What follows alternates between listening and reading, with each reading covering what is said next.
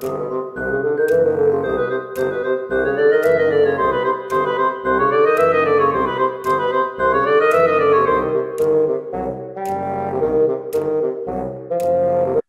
behalf of International Institute of Humanology, I welcome you all in second edition of our new Human Conversation season.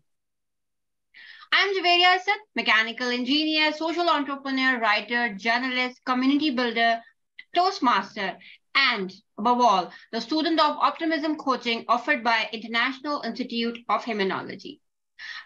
I am going to conduct today's session and I'm so excited and thrilled for moderating today's session. Human Conversation is a monthly panel of experts organized by the International Institute of Humanology to approach human topics from different perspectives and share views and opinions with our audience. And today's topic session is very important and very interesting, which is the role of leadership in today's world. And we are very fortunate to have very knowledgeable experts today in our panel will approach the role of leadership in today's world from three different perspectives that promise to offer us a very interest, interesting exchange of ideas and opinions. Ms. Marina Tomova, she's a president of Change Maker for All and peace activist from Netherlands.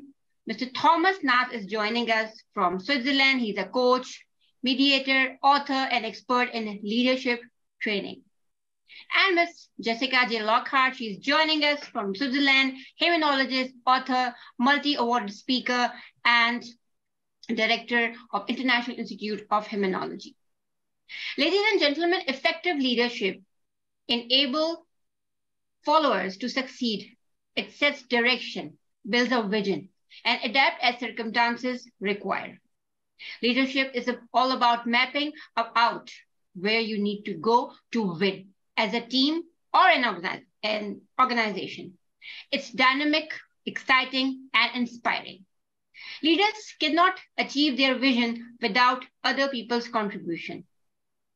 It's a leader ability to motivate and collaborate with people that helps them to deliver that vision. So that was a little talk from my side, my opinion. But let's hear the opinions and ideas about leadership role in the society from our experts.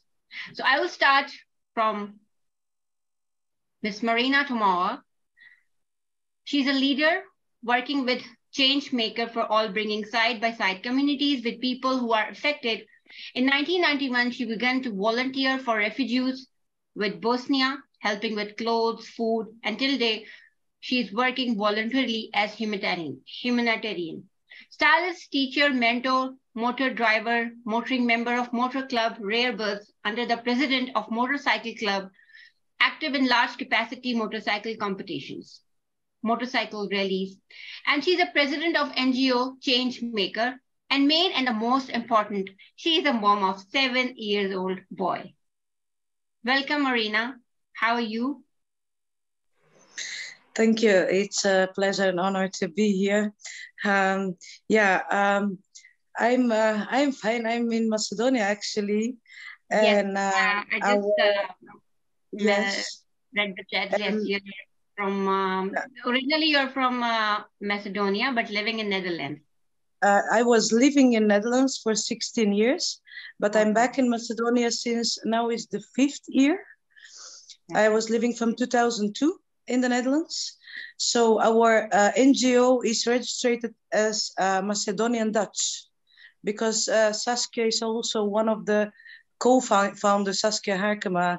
Uh, uh, Jessica knows her uh, well.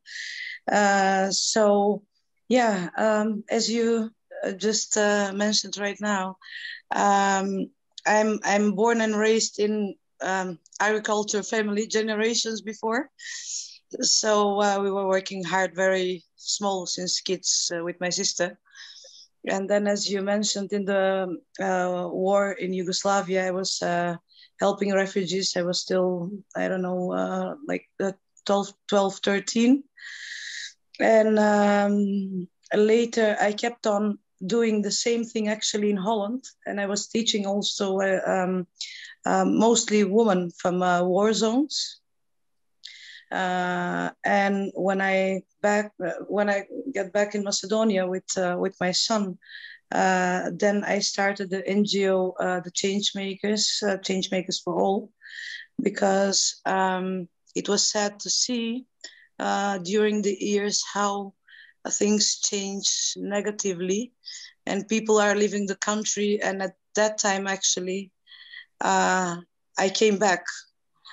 And uh, yeah so um, it's a bit of the introducement um, of myself. And i don't know what jessica said. If we talk too long just cut us off.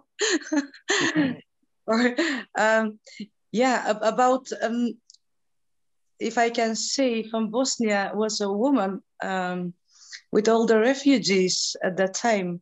She was living here for years, and um, after she left in Bosnia when the war was over, and uh, two years ago I think my mom she called me and she said someone wants to see you, but I thought like like always somebody's coming for to visit and then she called me somebody wants to see me when i went it was uh, gordana is her name and she came here for a week after 20 years and to stay just one week and the first day she came to visit me and she hugged me we cried we laughed she said i just came to say thank you for everything. What um, so even now, I get emotional about that.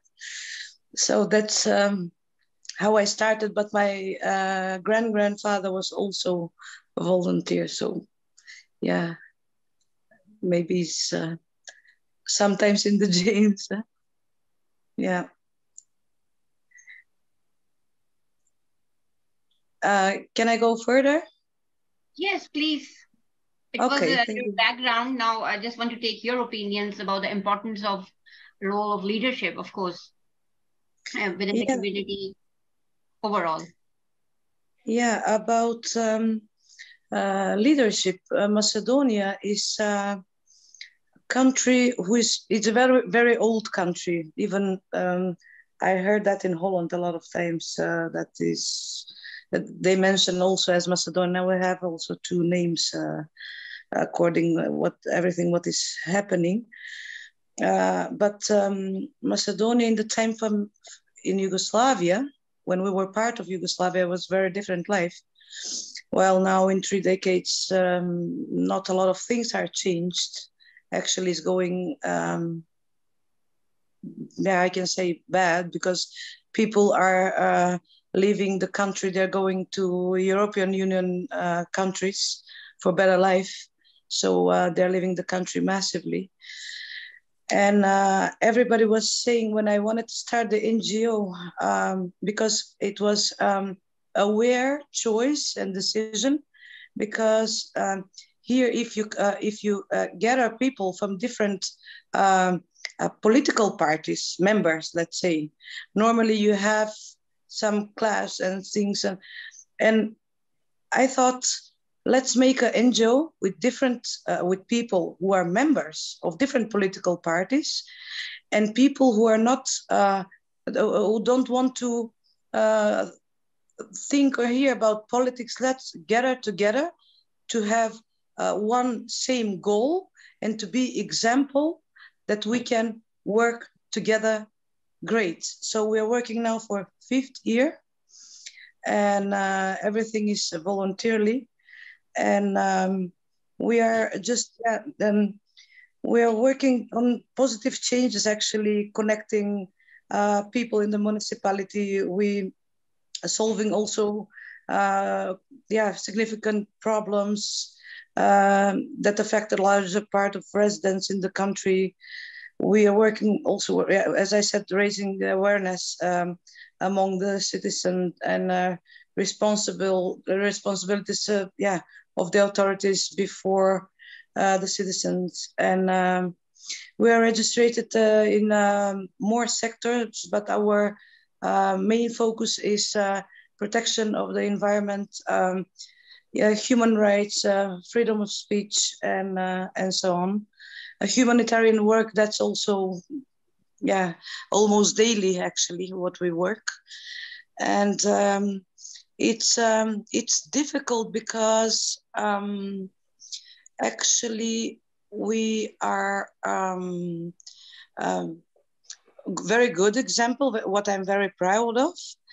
Uh, but sometimes you are kind of uh, I, I don't know how can i say it, uh, like a threshold or kind of obstacle when something needs to happen and then we stand on the way actually because it's let's say if it's about environment or something like that. So um, it's a big challenge because um, yeah uh, we, we brought also a lot of changes because uh, we're connect, connecting people. We're working uh, with uh, a local central government if it's needed and, and so on. Uh, but um, still yeah there are things which um, are just not okay. Maybe we we will speak later if it's uh, if it's time. And um, yeah as leader together with the change makers because um, i have all group behind me. And um, we are just bringing yeah side by side the communities with people who are effect, affected. It depends from yeah what and um, yeah where freedom is threatened uh, hold of, of, of the planet and uh, our children. And we personal sacrifice fighting daily battle to safeguard our human rights justice equality. So yeah. Uh, yes marina thank you so much. And i feel if i you know conclude your overall talk that uh, definitely leaders are the trendsetters. As you mentioned that you started ngo uh, and you follow the step of your uh, grandfather. So they take some, you know, the, the, genuine leaders take some extraordinary steps uh, to bring us some powerful and positive change within the communities and with the vision, as you mentioned, working together and growing together. So wonderful, wonderful thoughts shared by you. Thank you so much. We will come to uh, you again in the panel discussion. Now moving towards our uh, second uh, expert, Mr. Thomas. Before I invite him uh, formally, let me share his profound profile with you guys. Thomas Nast is the owner of Nast Leadership, an author and co-author of the book Leader, Team, and Partner for a Sustainable Economy. He founded his own marketing agency, was head of the presenter team and journalist BR at Radio Extra Bern, was a lecturer for many years at the private University of Applied Sciences and Economics and at the University of Applied Sciences and Agriculture forestry and food and was involved in the ETH Alumni Career Services in Zurich. He is a member of the advisory board of LP3AG. He currently works as an independent leadership trainer, coach, and mediator. He is the father of a grown-up son and a daughter. Uh, welcome, Mr. Thomas. So now it's better, huh? Oh, wow, what well, a multi-dimensional profile, Mr. Thomas. Great. so thank you for uh, being part of this uh, conversation. Um, I actually re represent probably the business part of leadership, and that's okay. Uh, I normally start my my trainings uh, like this: uh, employees do not leave because of the company, be, uh, but because uh, of the leaders and managers. And the same, I also can say, people don't leave their countries because of the country; they leave the countries because of of their leaders. So now we're already in the role of leadership in today's world. Um,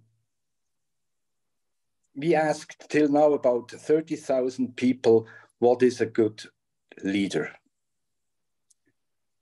And uh, with that, we established a model called LP3, uh, means leadership P hoch 3. Uh, uh, I come later back on that. And the main um, the main thing a leader should actually face is self reflection. And self reflection is a rather spare good in this world, I, I sometimes think. Um, we, or I work with uh, three main questions. The first one is Do I know myself? Do I know myself in terms of leadership? Do I know myself in terms of being present? Do I know myself in terms of how good is my conversation? Do the people understand me? This is maybe a bit difficult because I'm out of training in English right now. Probably at the end of my speech, it's, it's better again. Uh, the second question uh, is Do I listen to myself? So if I start with the first question, Do I know myself? Uh, and there is maybe a smoker and he will find out, okay, smoking is maybe not the best thing in the world I can do for myself. Uh, the second question, do I listen myself, should actually bring him down to the bottom and maybe it gives him the reason to stop. It gives him the reason to change the, change the perspective. It gives him the reason for a motivation uh, to change his behavior. And then the third question, do I like myself, can be answered easily. Yes, I stopped smoking. Yes, I don't drink too much. Yes, I'm in a good shape with my body, and so on. And these three questions first, I had a look on it a bit like, what the hell is that? Until now, for me, these three questions are magic. Uh, because if they if if I turn them on all different topics, it gives me um, a nice mindset. Uh, and what I think is what leadership needs today is a better mindset. So uh, that's my goal and that's my uh, vision, you know, to work with as many people uh, who are concerned, who are in a, in a, in a good position, uh, from team leader to CEO, um, that they can have the possibility to change their mindset and to really understand what leadership is. Another person, this is a called uh, wife called Brandes, uh, she said once, the hard currency of digitalization is the soft skills. And the role of leadership in today's world is actually be more aware about your soft skills, be more empathic, uh, take care, look not only at yourself, look at your surrounding, at your family in the small world, yeah, at your uh, place where you live, with the people you're surrounded. And uh, if, if you change your mindset and it gets normal, um, yes, then I really think uh, I'm on the way to do my job to maybe create a better world uh, a little bit or even a bit big. Because if I work with CEOs, if I work with uh, uh, high potentials, uh, they have an influence on other people again.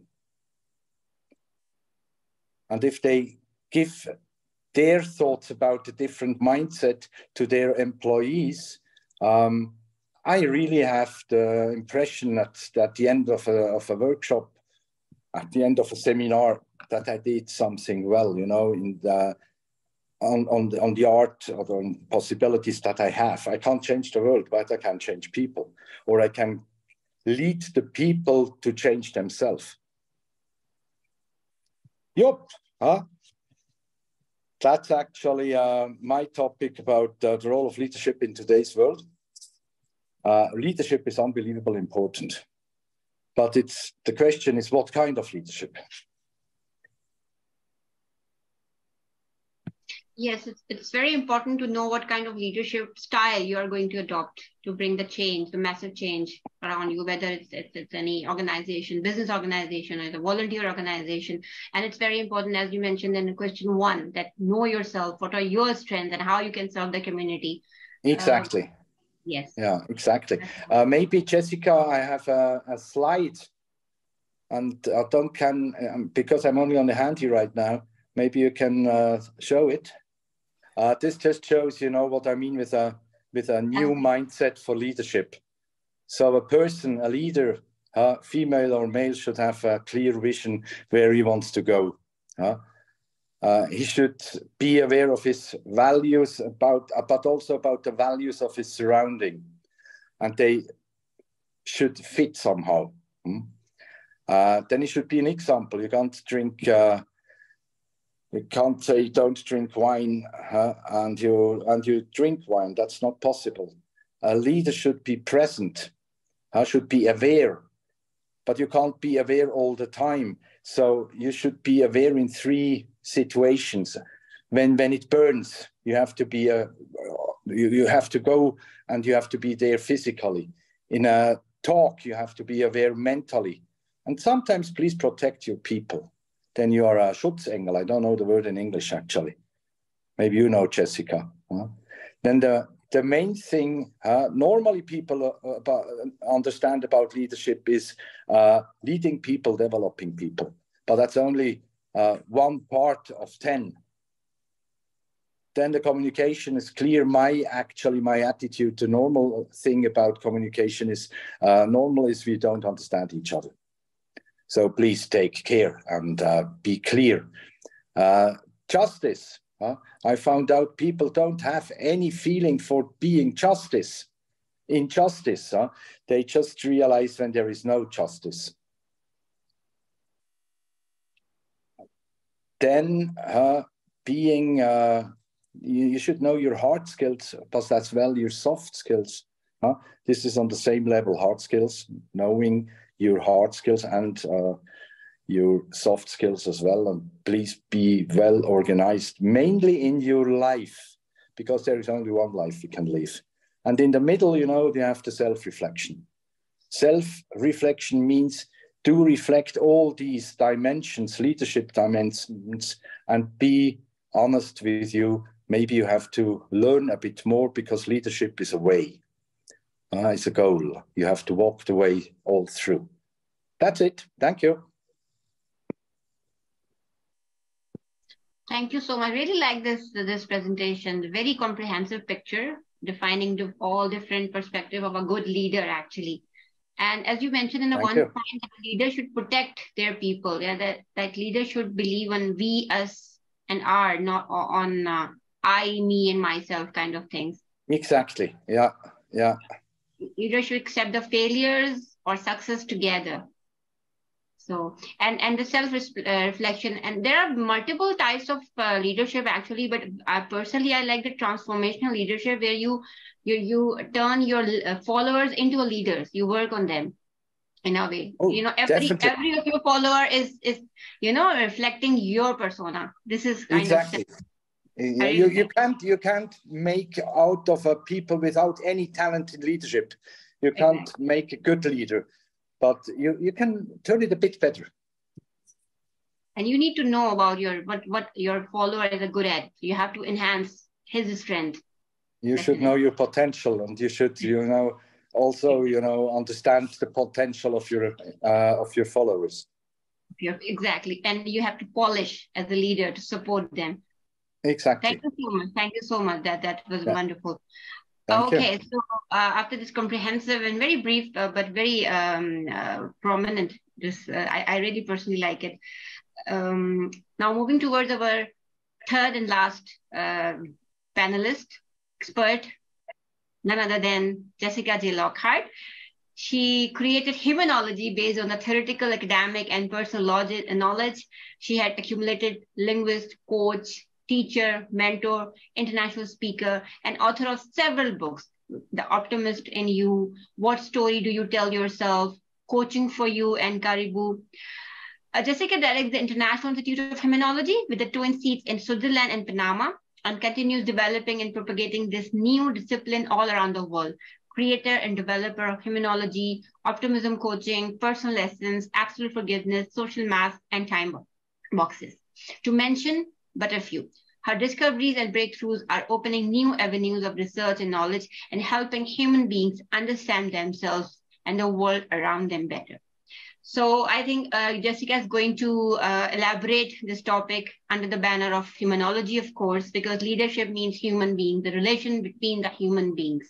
So next 15 minutes, stage is yours. Thank you so much, Javeria. I'm really thrilled to be here today with such experts from different corners of the world because at the end of the day, we're all human beings, aren't we? And what we are commenting and sharing applies to everybody. Let me share uh, some of my uh, slides with you. As you know, I usually like to share slides because, well, you see me all the time on shows and on events. So I think it's more interesting to see the slides than my face. Today we're talking about the role of leadership in today's world, and I wanted to take a little uh, different approach from what we've been hearing so far tonight. So what I want to start with is asking ourselves what we're talking about. Because to lead, which is the verb that has to do with leadership, to lead means to guide or to be at the head of some other people, of somebody who's trying to do something else. It also means to direct. So if we're talking about leadership, we're actually talking about helping other people get places, helping other people do things.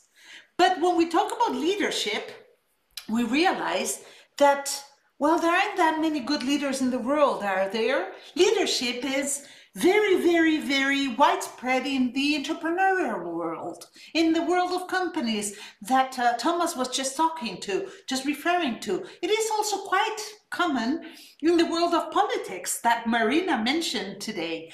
Uh, but I think that leadership should be more widely used and more extensive all over the world. I think that leaders are really needed today everywhere. We should have better leaders in companies. We need leaders in schools. You know, teachers are leaders. Uh, headmasters are leaders. Some students are leader as well, leaders as well.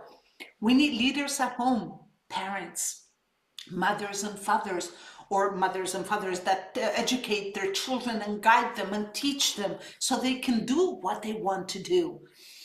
In any type of group, we need leaders so that the group doesn't dismantle or dismembrate. And we also need leaders in countries like Marina was saying. We need people telling the country where to go and how to get there. But the truth is that although we need leaders everywhere, leaders are very much necessary. There aren't that many of them. And there are specific fields and niches where we don't have enough leaders. I think that with the current world situation, for example, in the political sphere, we are seeing a very important lack of leaders. We are living situations in the world today that are proving to us that we are in their need, in dire need for more and better leaders. What's happening in many different uh, parts of the world, like for example now with this horrible, horrible earthquake, we don't have enough leaders leading the way and helping human beings be safe and be healthy. We need leaders in companies, true, but there's something else. It's not just a matter of having leaders, is it? Oops, sorry about that. It's a matter of having leaders who know how to lead. We have a huge need for leaders, but we are never taught how to lead. Unless you are working in companies and you do a master's degree on something, you might never be taught how to lead, how to become a leader, how to guide, how to direct others.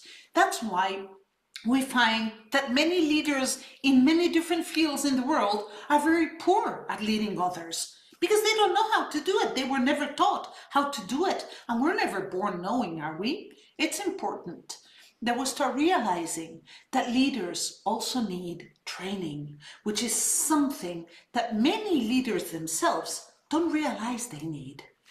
Effective leaders, for example, need quite a few skills. They need extensive training. They need a variety of skills so they can lead everybody and not just imitate the leaders they had in their previous years or in their youth. Most current leaders lead by imitating their own leaders, the people who taught them, the people they learned from. Okay, that's one way to learn, but is that the best way? Well, Maybe not. Maybe when we only use the skills that we have learned from the people who taught us, we only can learn those because the person who taught us only had one limited set of skills. That is why it's so important that we realize that leaders need a wide variety of skills. They need communication skills. They need to learn how to communicate, but also how to listen, how to use many different styles of communication, how to listen actively and passively. They need empathy, initiative, creativity, flexibility. They need a wide variety. I cannot list all the skills they need because that list would be very, very, very, very long just to be effective leaders. Any good leader trying to lead others has to know themselves, as Thomas just told us. But the leader also needs to know the people he or she is leading. Because if I want to lead others, and I know myself very well, but I don't know the people I'm trying to lead, I'd be very poor at that too. Sorry, Thomas. I agree with the part you presented, but I think we have to add that we need to understand and know the people we're leading because as I will be explaining right now, there are different needs for different people. It is true that there are certain uh, leading styles that have been explained by the literature, that are taught in schools when you want to become a leader, and that are somehow defined by their characteristics. Some of the most common ones are the four that you can see on the slide right now. The autocratic one, well, that is a, a, type of style that was used mainly in the past, very authoritarian, very um, uh, controlling, and uh, not very good for people who don't like to be told what to do all the time. It is very, very good for emergency situations. For example, we just saw the earthquake in Syria and Turkey, well, this type of leadership could be great for directing, you know, the, the help that was needed just on the spot. But maybe not that good for people who need to have their own uh, space and time to really go about their own things.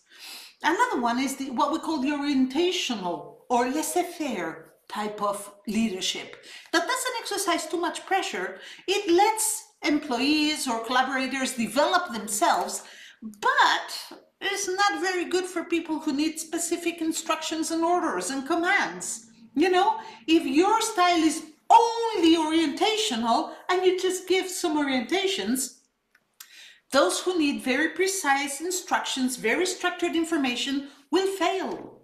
And they will feel like they are the ones failing, when in reality, you as a leader are the one who's failing.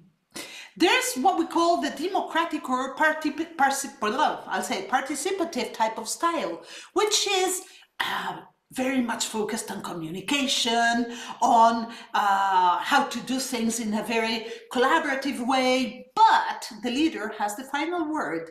Well, employees feel like they're really collaborating and participating, but sometimes it can be very much time consuming. It can be very slow because everybody needs to feel like they're involved. And then the last one that uh, already mentioned that I included on the slide tonight is that what we call the transformational or coach type of coaching type of uh, leading style that is really, really focused on communication, uh, collaboration, and it's done by helping the people who are being led develop themselves, get to know themselves, and progress themselves. It can lead to a fantastic feeling of shared project, but they can also, again, be not that effective in situations in which there's a certain urgency or, or emergency. So as you can see, every leading style is good for certain things, but maybe not that good for other things. That is why leadership should vary depending on the circumstances. What is it that we're trying to get to? Who am I and who are the people that I am trying to lead? Unless I base my decisions and my leading style on those two premises, who am I and who is the person I'm trying to lead, my leading will very likely be um, not fully perfect, not excellent. I always therefore tell leaders who want to be trained that one leadership style is never enough. We cannot just use one style to lead everybody because we're doomed to fail with 60% of those who are, we're trying to lead. We are all different human beings. What works for some doesn't work for others. And what worked for me doesn't necessarily work for others either, even if it was fantastic for me. That's why we have to tell our leaders that they have to be trained in many different leadership styles if they want to help everybody they're going to be working with. So that's number two. The world not only needs a lot of leaders, but it needs prepared leaders. Leaders who really know what they're doing, what they're doing. Leaders who really know how to work with different kinds of people in different circumstances and with different methodologies. The most common roles that leaders acquire are the ones that we're very, very used to. Teachers, a lot of leaders become teachers and they teach others how to do things. They tell them exactly what they have to do. They give them the instructions and explain everything. And then they let them do things like a teacher would let pupils do things.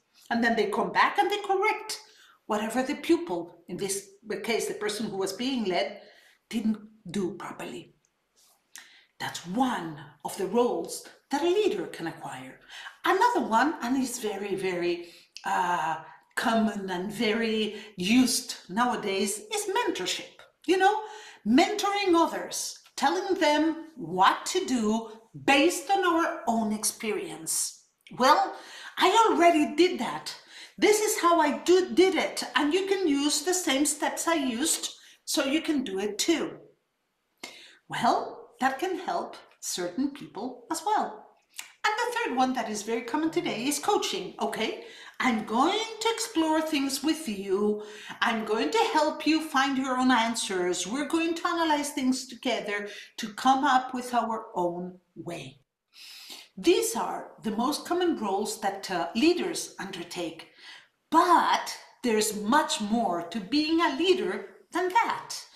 Leadership has been historically linked to or focused on success, gains, goals, objectives.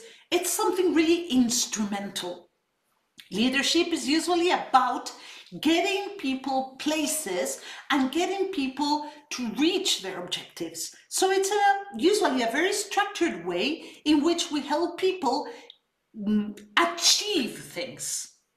It is historically, therefore, been very much used in the entrepreneurial world, in the world of companies, where uh, leadership was very much uh, uh, at the same level as success or uh, material, material gains.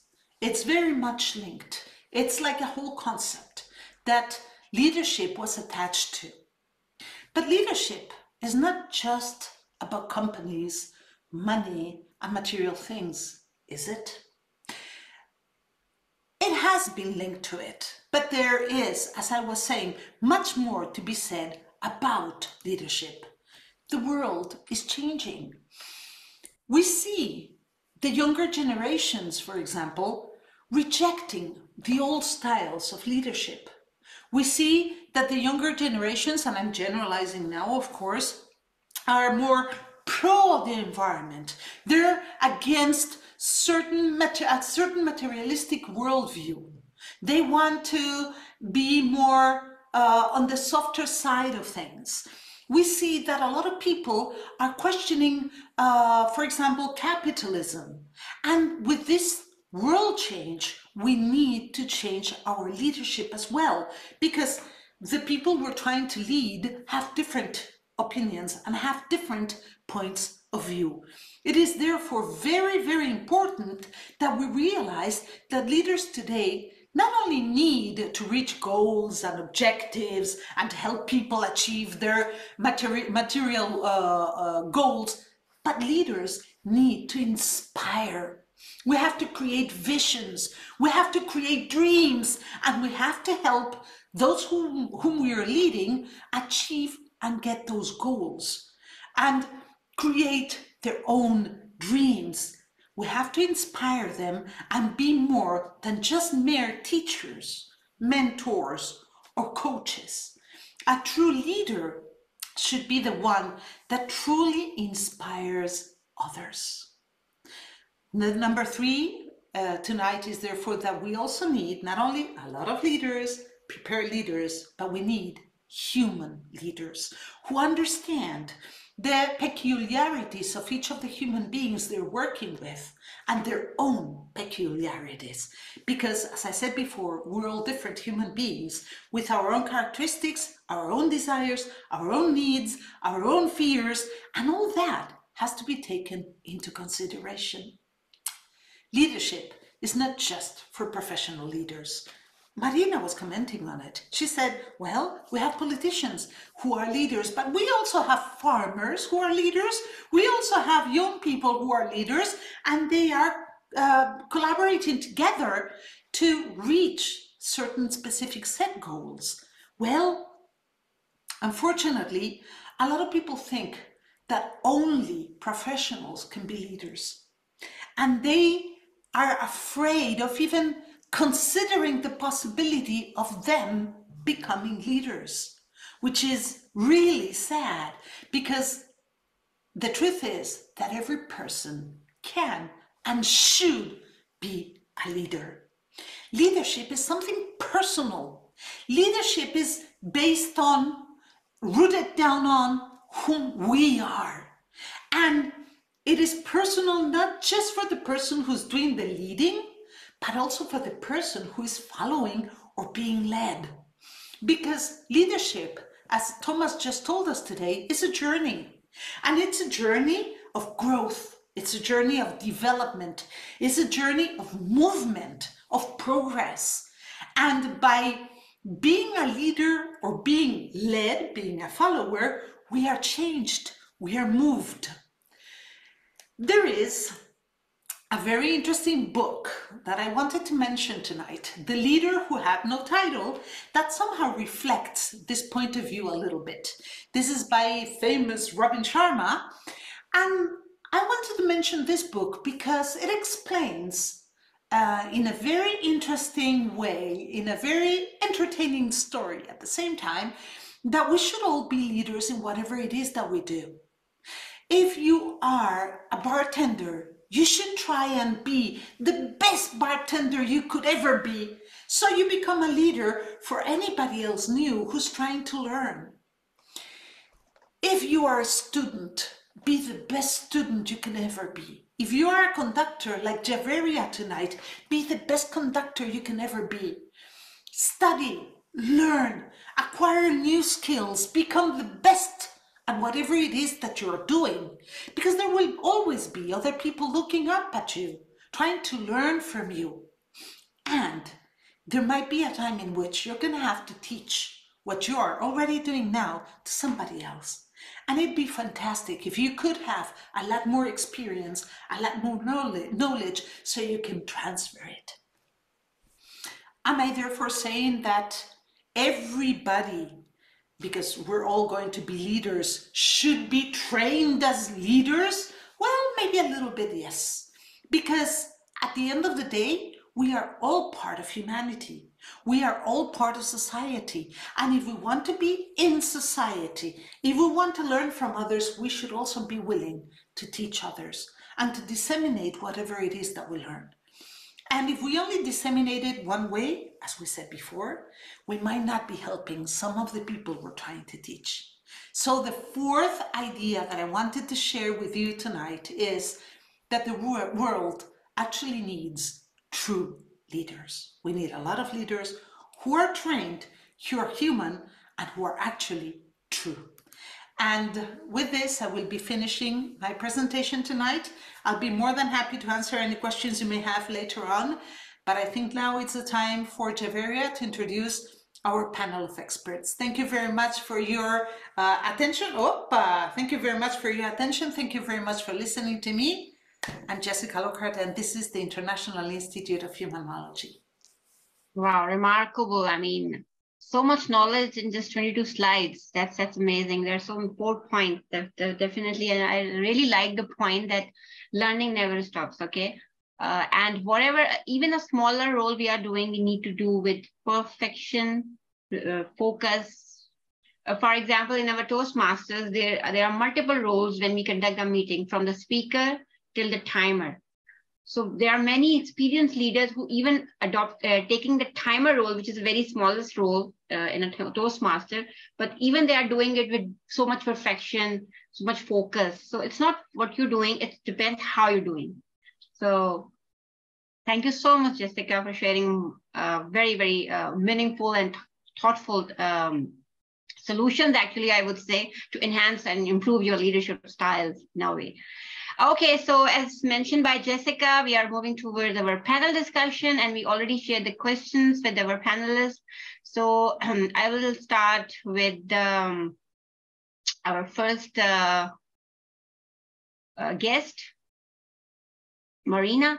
Okay, uh, I will ask question and one by one you can answer the question. My first question for the panel discussion is that what are the fundamental traits that make a person a true leader? Although Jessica has already mentioned in her slide, but I want to, or we want to hear from other speakers, what they think, what are the basic traits of a good leader, starting from Marina. Um, well, um, this leadership, what I'm leading here uh, in this country, is uh, because in different countries and in different sectors, in different uh, type of, uh, doesn't matter what kind of uh, leader you are, in different countries you you um, uh, have to deal with different things. So, like here, for example, um, or everywhere, is also about trust. because if you want to work with group people, they need to trust you. The trust is also built it during or later, but trust is built it before. That's why they choose you as leader. And uh, uh, yeah, um, it's also yeah to dare to dare to do something what others don't dare to say or to do it, and not to be afraid. Um, and um, yeah, and also uh, to to connect people in uh, also in good things. What I uh, what I said, we are here actually uh, as NGO to bring positive changes in the society and in the country, uh, but still we have to uh, deal with, also very serious things. So it's. Um, I'm also I, I agree with that. Leader, leaders also should uh, not have more followers, but build also leaders, more leaders. But um, uh, like yeah, like Jessica said, you have to have that, or or Thomas said, I guess, you have to. Uh, you cannot train that. You have to have it in yourself because I, I uh, mentioned, uh, I asked two times if I can just step off for uh, three till six months, I can always help from a side. But no, it's from the NGOs, from the members. And uh, so, um, yeah, it's uh, once again is um, about the, the trust and how much you dare to lead. Yes, as uh, Jessica mentioned, like for in some kind of crisis an emergency, a leader has to take some, you know, extraordinary decision out of the box, and for that you need a courage. You have to be courageous, and yes. definitely trustworthy leader uh, for his followers. Definitely. Thank you so much. So now moving towards uh, Mr. Thomas with the same question. Uh, please unmute yourself. I'm sorry. First, it takes talent to be a leader. And the recipe for human success is cooperation. Mm. So a leader must be able to lead his uh, people uh, to cooperate, to communicate, to help each other, uh, to take care about each other. Uh, what also helps is, uh, is having passion. Is uh, really you have a vision and you really go for it uh, with all the passion you have. This is uh, uh, this shows your people you mean it, and you walk your talk. Uh, you should have the potential. If you have the potential to lead people, uh, if you know your own potential, if you know your strengths, if you know your weakness, you know, you have much more power and influence on others. If you have more influence on others, the performance will will be better. The happy the the the people work like to work together. So it's it's all about being in a in a in the mood to cooperate, and cooperation always needs leadership. If this is missing, huh, it's a real obstacle. Yes, true. That's all I have to say. Good. Yeah. You mean you mean a good teamwork, right? Oh, definitely. Yeah, yeah. That's why I I wrote uh, three books. You know, uh, the first one leader means actually the the leader top down. Uh, but it's also about leadership. Uh, as uh, Jessica said, you you have to to be um, capable to change your style of leadership all the time. So the second book is teams about uh, leadership. This means you know how how a team has to work together, mm. and there you know trust is is very important, but being open is very important as well. They they belong together. I'm open, and so the people trust me. If I'm not open, the people don't trust me. So if I want to have a good team spirit, I need at least these two. And then the, the third book is a partner for a sustainable economy. And this means uh, how to work not only in teams, but from team to team from company to company, from maybe, you know, country to country. Uh, and this is not in our DNA. Mm. Because I always, if, if I work with groups, you know, and you give a group a goal, uh, in the same minute, it's not a team, it's more like a wolf pack. Uh, they all want to win against the others.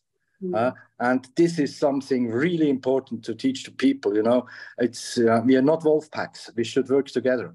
We should cooperate. Exactly. As Michael Jordan mentioned, na, talent, talent wins game, but teamwork and intelligence win championships. So, yes, true. Oh, thank yeah. you so much. thank you. Okay. Uh, yes, Jessica, what's your take? Although you have uh, elaborated, but yeah, well, there's, as I said on the presentation, there's many, many, many skills that mm. a leader uh, should have. But the fundamental ones, apart from the ones that uh, Marina and Thomas mentioned, which I agree, those are some of the fundamental ones, I think also include, and we should never forget it, the capacity to listen. I think that actually listening to what people are telling you and understanding the information and processing the information is key, is fundamental because sometimes leaders want to lead based on what they know and they think and they believe, not based on what their their uh, followers are telling them or what their students are telling them or what their collaborators are telling them. Um, I think that flexibility is a fundamental one too, because as COVID taught us recently, we need to be able to lead no matter what. Uh, the world is changing i said it in my presentation and we as leaders have to be able to be able to lead our followers under whatever circumstances. And that requires a great amount of flexibility. And the last one that i wanted to mention um, is what i would call authenticity and integrity. If you have a leader whose words you doubt all the time for whatever reason. Sometimes it is because the way the person moves or the way the person speaks makes you doubt what they're saying. And it's not just a matter of trust here, okay? It's more something internal. Uh, you find the person not very authentic or uh, with a lack of integrity, you will just not do what they are telling you to do. You will just not really fully accept what you're being told. If you doubt the person in that sense, you will not follow them. So a leader should try and be as authentic as possible and integrity should be one of their uh, stamps of uh, quality, I would say. So those are the ones that I wanted to add, Javeria. Wonderful. Thank you so much. Uh, now, moving to our second question. Um, like as uh, Jessica mentioned in her uh, presentation, there are different kind of uh, different styles of leadership. So now I just want to know that uh, uh, which example of a leader do you admire and why? Because everybody has an inspiration uh, in terms of what you're doing. And we are today talking about a leader, so definitely everybody has inspiration um, in different perspective. So starting from Marina, uh, who inspires you in the leadership role? Um, now I have few, uh, but I can I will mention Nelson Mandela mm. and uh, Josip Broz Tito, uh, who is um, yeah, Josip Broz Tito was uh, the president, or I can say leader of very different countries. He gathered all the publics together with different, um, uh, I'm sorry, uh, with, um, I'm sorry, am I here? Because my phone was ringing.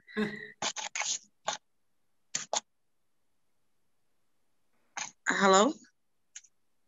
Hi. I cannot hear you. Yes, we can hello, hear you. hello. Yes, you're here. Marina, hello. You're audible. You're audible, Marina. Please go ahead. Yeah. Okay. Yeah. Um, no, I I can hear you very uh, bad, but uh, if you hear me, then it's okay. So um, he gathered all these republics and uh, different religions, people from different religions. Uh, we were from Muslims, Catholics, Orthodox, and so on. So he was leading that country decades. Uh, even though um, he was um, later, people were, um, there were also a lot of uh, talks after his death. But now, after decades since he died, people are more talking about those times. Uh, I think the, the idea of Tito's Yugoslavia was actually the thought what is European Union today. He united all the republics. We were so powerful in from agriculture, sport, whatever you can imagine. You can go with Yugoslavian passport wherever you want. You don't need visa because everybody knows you're coming back to your country because everybody had good. You can sleep on the roads and nobody touch you. You are just safe. And uh, there were no poor people. He was, uh, for me, a great leader to lead so many uh, republics. And after his death, death actually, you know already uh, what happened with the war and so on. And uh, now seeing from Macedonia now what is happening and all these yeah three decades we we we just we're just missing good leader and what jessica said you, you cannot just be a leader chosen by some political party but you have to have behind behind yourself whole history. And why to be chosen as leader? You have to have compassion you have to feel things. Like the last time with the president of the country i told him because i'm working in agri- agriculture and it's very hard work. And um, and i told him i would like to see i would like to have i will write an email to the minister of agriculture i want him uh, i will invite him to come and work with me one day and uh, just to see how is it? Because yeah, I cannot show you my hands now on camera, but I don't know how I look. But I know myself. Everybody knows what yeah what is the the the, the weight of the work what you're doing, and I want them to see what is it because if you just study it in the university, see, and later you become minister, then but you need to see how and i wanted also to go with him and to spend one day to see how is he going how it's like normal working day with him in eight hours time during the week So uh, actually, I didn't receive any answer. And um, yeah, we we just need uh, great leaders, and also um, yeah, what I said, uh, I, I, began with. Um, I, I, said about Josip Broz Tito. Uh, we are also here generations who remember him. I don't know uh, what is now talked, but uh, he's now more famous after his death than when he was alive. And about Nelson Mandela, uh, sometimes I see things I recognize myself actually in certain situations, okay. uh, what they have been through. And um, yeah, and maybe again, maybe in another meeting about this, but uh, those are two people who really uh, I adore them. Yeah. yeah. Yeah, and I, I really like that point you mentioned that on ground realities are quite different while sitting in the office and doing something. Uh, field work is, is different. It has so many challenges, and we will, we will ask those challenges and uh, problems usually a leader face. Uh, we will ask in uh, our next question, but let me finish the first question, uh, second question, taking answers from Thomas. Mr. Thomas, who inspires you in a leadership role? Um, actually there are many inspiring persons. Mainly it's people with a with a vision uh, with people who have a clear vision where to go to. But i explain it differently. Um, I, came, I, I went back to my youth uh, or i go back to my youth uh, and uh, maybe explain it like that. Uh, i speak about a person you all don't know um, his uh, strength has been uh, really his uh, rhetoric skills. He had charisma, uh, his power of persuasion, his ability to lead people to cooperation. He had a strong vision, and he had uh, good strategic uh, kills. And you probably don't know this person I just talked about. he was an Indian American native chief from the tribe of the Shawnees. He was called Tecumseh.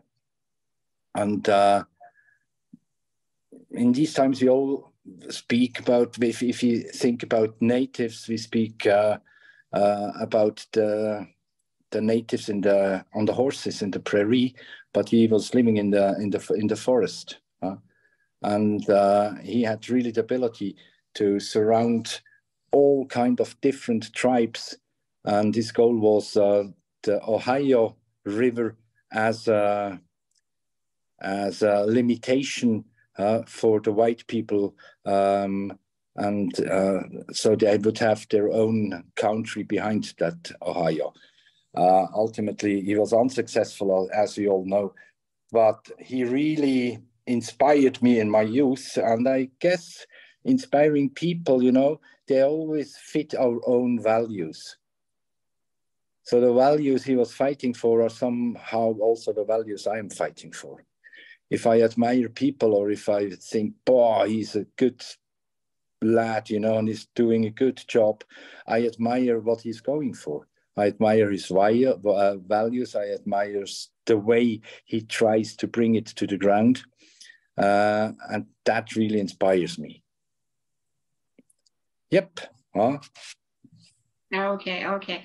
Yeah, sometimes, you know, as you mentioned youth, uh, I will uh, uh, tell you that sometimes we are learning so many things from our kids. If they are doing something, you know, they, they're, they're doing or, or leading a small group. For example, is there any birthday party and, and you instruct any one kid, you are going to a, you know, game. Uh, exactly. Plan so he was like, okay, this is a big responsibility, and he's doing with so much with leadership style. And he should be, he should invite every kid in a game area and doing with so much interest and you know entertaining. Yes, you're right. You're absolutely right.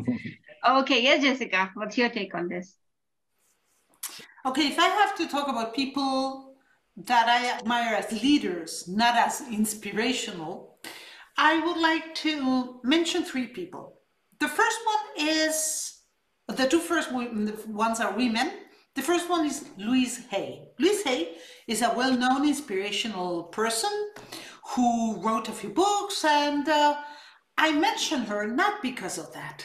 No, I mention her because she took something that nobody else wanted to take on which was the gay community, AIDS, HIV, back on her time, and she became a leader for them. She decided to help that community, which was being ostracized by the rest of humanity in general, and she was daring, strong, and brave enough to become a leader for them. And uh, just the mere fact of doing that, going against what everybody else was saying, in my opinion, deserves to be admired. Because it's very easy to go with everybody mm-hmm. else. It's much more difficult to go against what the great majority believes and says and become a leader to minorities. So, in that sense, she's a role model, in my opinion. The second one that I want to mention is Jacinda Ardern, the, the, the, the Jacinda Ardern, let's see if I pronounce it right.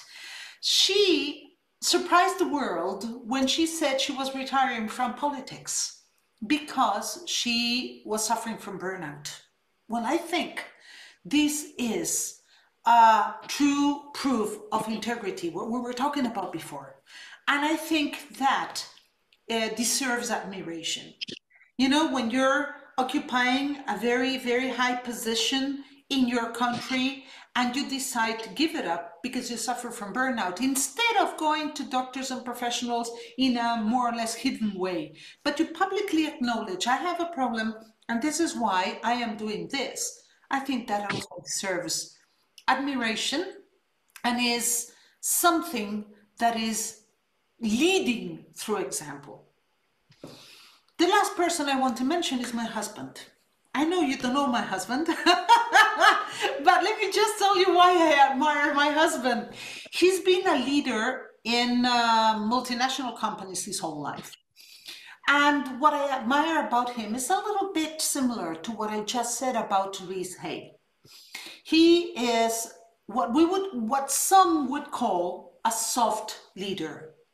I'd rather call him a human leader. He really has led his people through knowing and understanding them and knowing and understanding himself. He has always led people based on what the company needed, but through what the people were. He told them what they needed that they didn't have and how to get it so they would reach their goals and their objectives. And he did it in a way that was not hardcore and we have to get goals and we have to get this and we have to get that. No, it was much more through, okay, let's get to our goal together.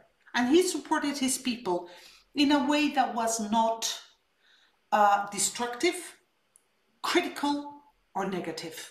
Because I find that many company leaders lead in a very critical way they criticize a lot because we've been taught that we learn from our mistakes and thus many leaders highlight our mistakes. You do this wrong you do this wrong you do this wrong. And they tell us everything we do wrong so we can do it right. Huh? Well there's another way.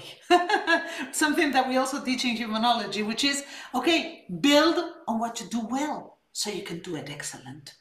And i think that my husband has been leading others from that perspective his whole professional career. And I truly, deeply admire him for that. And I will keep quiet now. okay, thank you so much. Uh, okay, now I might have the next question, but after that, uh, we have some questions from audience. So uh, I need short and sweet answers uh, because we are running out of time, especially with Jessica. Okay, so uh, for the panel uh, discussion, my third and last question would be, as uh, already Marina mentioned about the challenges and problems we're facing when we are, you know, leading you know, on, on field work, especially. So what is the worst obstacle a person can have when trying to become a leader?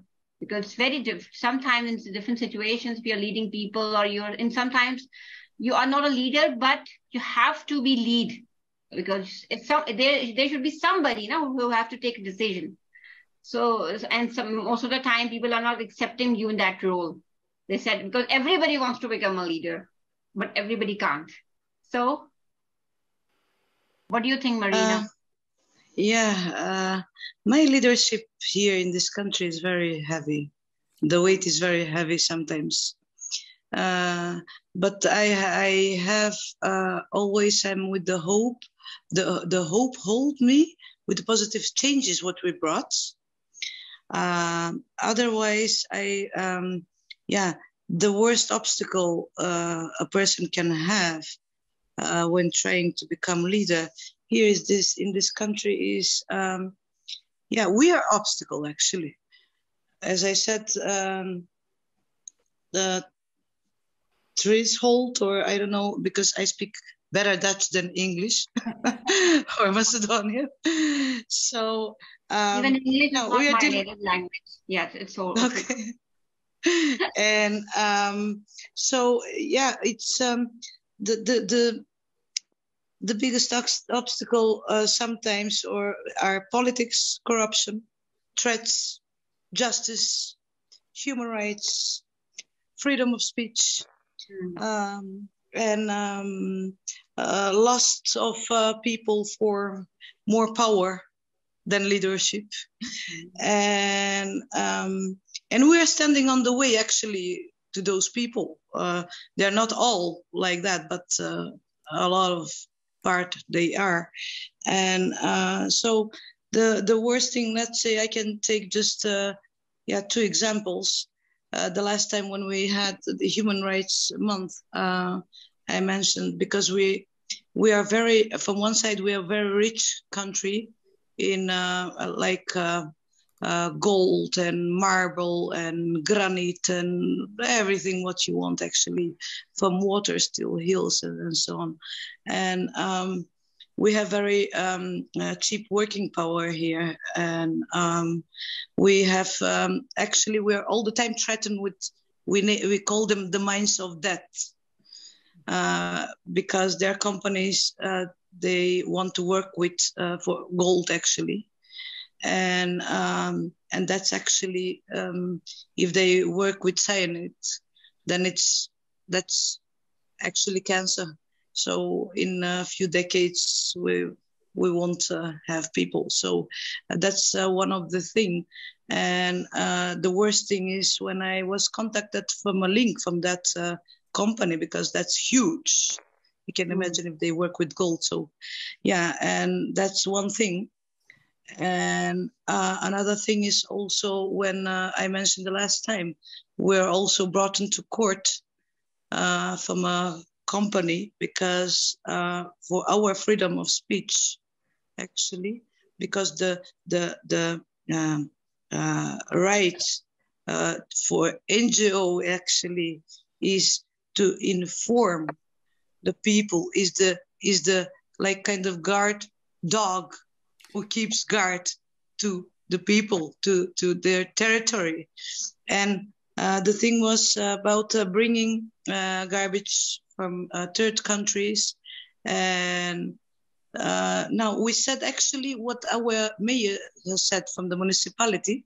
Uh, we brought the news on our page what he has been said but actually we were brought into court because it was said from him is the same company which wanted to bring garbage from another uh, countries and later with the same director and another registered company macedonian later.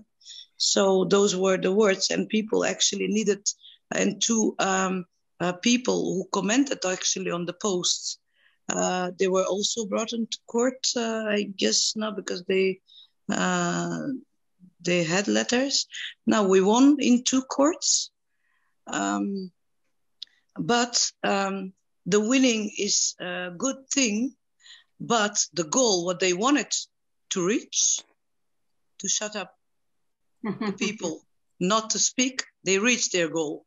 So um, and i was contacted also to uh, meet them in person.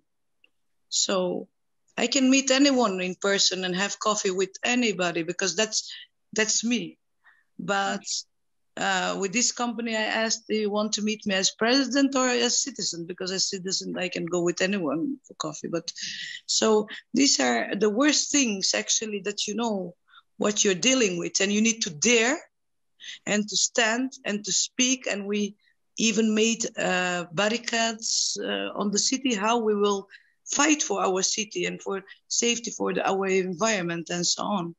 So um, yeah, so that what are we, what we uh, deal most of the time here, and um, yeah, those are few things from the worst uh, thing as okay. leader. Point taken, point taken. Yes, as a community and social leader, I believe that playing field is quite difficult regarding permissions, yep. taking this on-spot decisions. We cannot take it. Uh, so thank you so much, Marina. So yep. now, uh, same question to Mr. Thomas. Uh, you are a business leader, right? Coach, mentor, uh, of course, you're the teacher also direct interaction with youth. So you have definitely different kind of hurdles and obstacles while leading up young I people. make it very, I make it very short, you know, and bring it down on the personal level. Short, yes. I want to if, short answer, yes. Uh, so I bring it down on the personal level. If you don't like people, let it be. don't lead. Huh? Uh, if you suffer leading, let it be. Mm-hmm. Uh, if you are a specialist and you don't like working in teams, mm. let it be. Um, and if you do it for the power only, let it be as well. So that probably are the, the main obstacles on the personal level, on my opinion. But you just shot the, uh, you know, everything by the tool uh, gun of, you know, flexibility. Let it be, let it be, let it be, right? flexible, yeah. okay, yes, Jessica. Okay, I think I would somehow use what Thomas just said. Yeah, let mm-hmm. it be. So, in my opinion, the greatest obstacle is not knowing when you don't know and trying to offer others something that you may not have. So, I think it's important that once again we'll go back to what Thomas said at the beginning that you know who you are so you know what you can really share with others. Don't try to lead there where you have never been because that's going to be very hard. Okay. Thank you. Okay, now uh, we have some questions from the audience. So I need, uh, again, a precise question because we have only 10 minutes left. So two to three minutes, I think, would be enough for every speaker. Um, the question was that uh, can a leader be a loser? I don't mind to be a loser sometimes because failure are, are the very good uh, lessons, actually. This is my perspective. But starting from Thomas, what do you think? Can a leader be a loser? Sure. I don't know who's a loser. I don't know how, how people define a loser. I don't know. But somebody uh, who uh, had had bad luck in life actually. Uh, in Switzerland, this is quite a, a thing. If, if, you have bad luck and you maybe bring your company down, uh, you mm. don't normally get the second chance. In the States, as example, it's the upside down. You know, if you if you don't have two three companies uh, that you had to leave, uh, or if you really broke down once and you put it yourself up again, um, that's a, a, real strength. So my answer is clear. Yes, a leader can be a leader. He shouldn't be a leader all the time. He shouldn't be a loser all the time. He can be a loser, right? Oh yes, from time to time. why not? Especially when, when you're in, in any organization, uh, kind of multinational. All, we all have we, we learn more through our mistakes yes. than do have. So sometimes we lose it, definitely. I was okay. sometimes. Point taken. Point taken. Anybody else want to uh, answer, or I should go to the next question? Marina or Jessica? Any any answer? Yes, Jessica. Yeah, I think that uh, people sometimes expect leaders to be pristine and perfect, and that is wrong as well. You can be a loser in the field and fantastic at something else, mm-hmm. and that doesn't make you bad. So. Yeah sometimes people think, well, you know, he failed in um, businesses and then he cannot be a leader. Well, I'm thinking about Walt Disney, who failed and went bankrupt a hundred thousand times and still built everything he built. Yeah, he went over 300 banks to ask for a loan to build the first Disneyland in California. And he was he was said no many times because it was so unique, so different, so strange, and also because he'd been bankrupt before. And now look at Disney, one of the biggest companies in the world. So being a loser doesn't mean that you're bad at everything. It might be that you're not good at something, but you're fantastically great, great at something else. So being a loser doesn't necessarily mean you cannot be a leader. Not at all. Yes. And failing is just an event, not a person. So you can change it. You're only you're only a loser if you don't stand up again. You're, you're a loser if you're not accepting your failure and you're not heading towards exactly. to make it. Exactly. If you don't take your learning. It, exactly. Okay, uh, so my next question is, okay, the last question actually for this session, because we are running out of time. Uh, how do you distinguish a manager from a leader? a manager, I think manager who do, uh, a good manager who doesn't do anything, but everything is happening around. A good manager. two different, two different kinds of, of people, you know? Uh, yeah the easiest way to answer is a manager is handling with numbers and a leader is handling people. Wow. Whereas I, I disagree, Thomas. no. Let's do this. Yeah, I think that everyone, as I said in my presentation, should aim at becoming a leader in whatever it is that they do so they can lead others. And I think that managers also lead others and should do so because managers usually manage other people as well. So the better leaders managers can become, the better they will be at managing. And I'm okay with that. Yeah, and one thing is not incompatible with the other one. So if you're a manager who shies away from leading, just be trained on leadership techniques. Learn about leading and become the best you can be at, as a manager and then maybe you can become a leader as well. I think they should go hand in hand. And as I said at the beginning, it's important that we become leaders at whatever it is that we do. And there's nothing small enough, and there's nothing unimportant enough in the world that you cannot be a leader in. Maybe we can turn it this way as well, you know. A good manager should be a good leader as well. Yeah. A good leader don't have to be a good manager. Well, I would say that manager can manage multiple leaders. I, I, would I would say that we are all a bit of everything too. So right now, as, as a manager and a moderator, I'm leading three very powerful leaders right now. so the ship is in my control. So this this is a man right now. I'm the manager, right? Okay. So this is the difference between a manager and a leader. That manager, I think, right now I had upper hand, right, in, in, different scenarios, right? Okay, this is this is on the lighter note. Uh, okay, Marina, you do you want to say anything? Yes. No, I. It was just a great pleasure to be with you, and I hope that uh, we can meet uh, another time uh, again.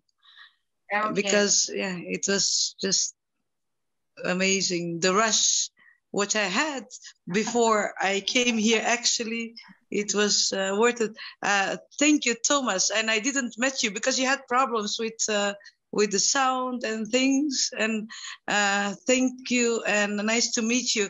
Nice to meet you also, uh, Javeria and uh, and Jessica. Was it's it's always pleasure to see you and to be mm-hmm. present. Thank you, Mary. Yeah, thank you so much. So overall, uh, I, I I like the quotes actually so much about the leadership that a leader is the one who knows the way, goes the way, and shows the way, actually. Uh, so by uh, John Maxwell, of course. So I uh, thank you so much, uh, uh, Ms. Jessica, Marina, Thomas, uh, for wonderful thoughts, opinions regarding the importance of leaders. And we need leaders and we need skilled leaders, as mentioned by Jessica. don't, don't stop learning, upgrade yourself, uh, uh, strength your, uh, you know, polish your strengths, work on your strengths. so thank you so much. So next month, we will be back with the third episode of Human Conversations session season on 13th of March, right? And our topic would be the good old past. Wow, wonderful topic. I just got to know right now. So definitely Jessica will bring uh, amazing panels, uh, panelists with us as always. So thank you so much once again. It was, it was wonderful meeting you all. Uh, and uh, yes, as Marina mentioned, maybe in another episode we will meet together again. Thank you so much. Yeah. This is Javeria signing out from Human Conversation. Bye bye and good night. Thank you, everyone. Bye bye. Good night. Bye. Take care. Good night. Bye. bye.